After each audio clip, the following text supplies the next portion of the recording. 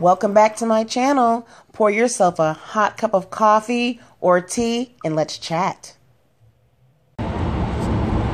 Good morning, good morning, and welcome back to my channel.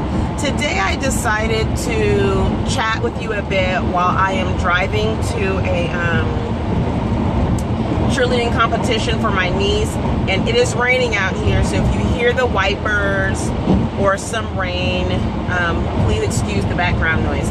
But I wanted to talk about a little, well, I'm sorry, I wanted to talk a little bit about expectations and boundaries within your um, homeschooling journey.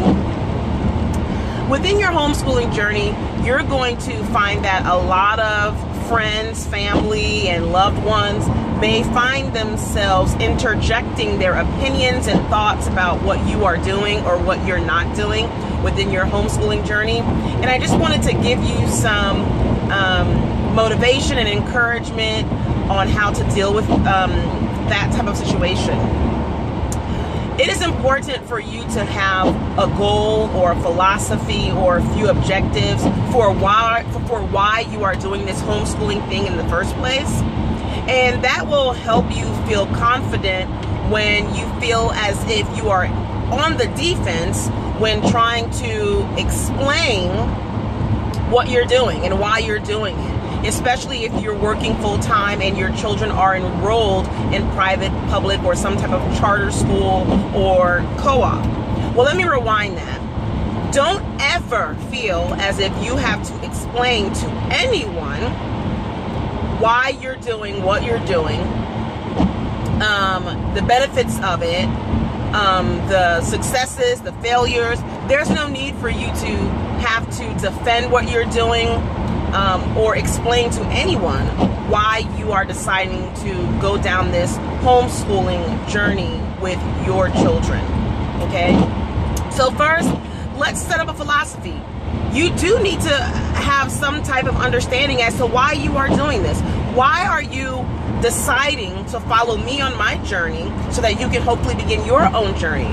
Why are you deciding to work full time and do some type of homeschooling with your child, especially if your child is already enrolled in school full time or part time, right? Again, understanding that foundational knowledge or information will give you the confidence you need to speak about the topic, right?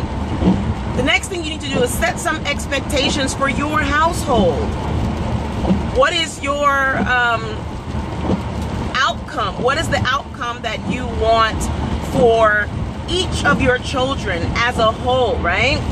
So set expectations, and those expectations will help you set boundaries for what is to be expected within this homeschool journey.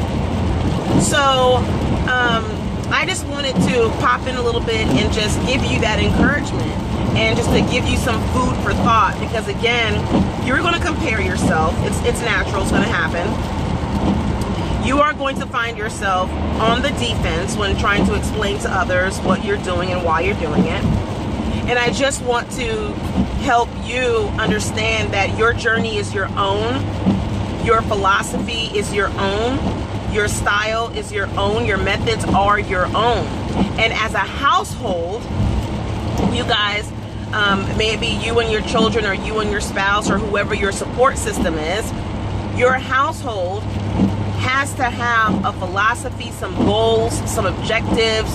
Um, you have to kind of have some expectations set out for what the year will look like, what you want each child to learn, what you want to learn from the process.